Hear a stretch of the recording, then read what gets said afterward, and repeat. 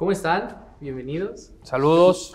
Bienvenidos a ti, si tú estás llegando acá. No, ya estamos, pues, pero sí, ¿Cómo no? pero es O sea, que más bien, claro, sí, sí. ¿no? yo, No, yo vengo aquí a las audiciones Ah, para ser ah, un Minion. Ah, ok, ok. Pues yo estoy sorprendido, pero Ok.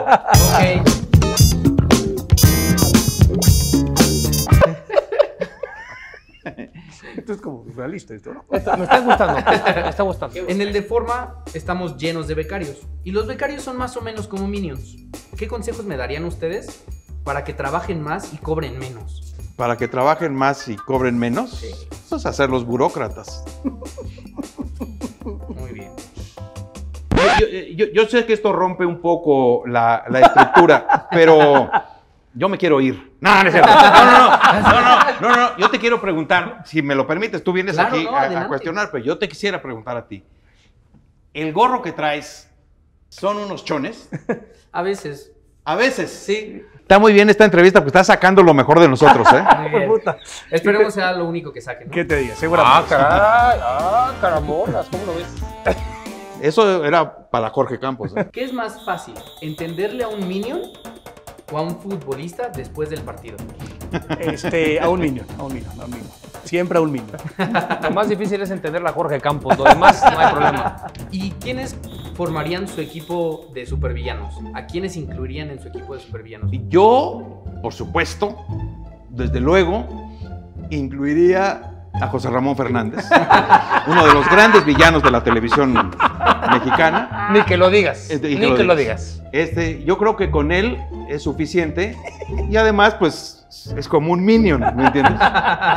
Es Entonces, portátil, es portátil. él- Ah, bien, ah, bien lo tuyo. es portable. Esa es mi respuesta. Exacto. Sí, y la de... Nosotros, yo, yo pues, que escogería este, puñetas, ¿no? Sin Gracias, dudas. doctor, gracias. A Misaguito, a Jorge Campos, a Medrano, a Guerrero, pues esta bola de, de, de tetazos que hacemos ahí, el fútbol Azteca Deportes, ese era mi equipo de, de villanos robado. Yo mi villano favorito sería el hooligan. y ese sí era villano de los malos, malos de Malolandia. Sí, ¿no? Malolandia. Ese sí. Y lo que se llama quedar bien con alguien en una entrevista, ¿no? Dios, no. Lo que todo lo que no está haciendo él, lo estoy haciendo yo para ti. Qué bueno. Qué bueno. Pasamos a la dinámica. Ah, No sé si va a haber dinámica, ¿eh? lo, estoy, lo estoy pensando.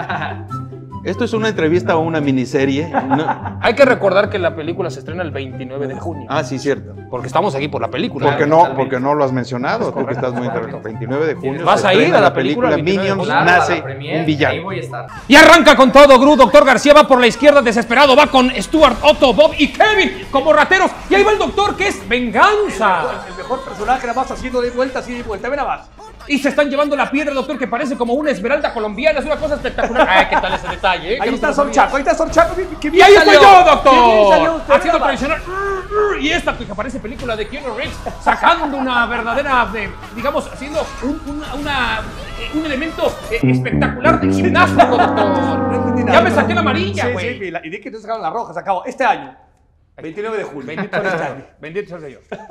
Yo te voy a decir una cosa, no, muy bien, a mí me parece extraordinario lo que sucedió, hubo una amonestación Sí, para el señor fue- porque fallé, tuvo un pequeño tropezón. Yo necesito checar esto en el bar. No, no, no, en el bar del hotel donde estaba. Perfecto. En el piso. Me canso,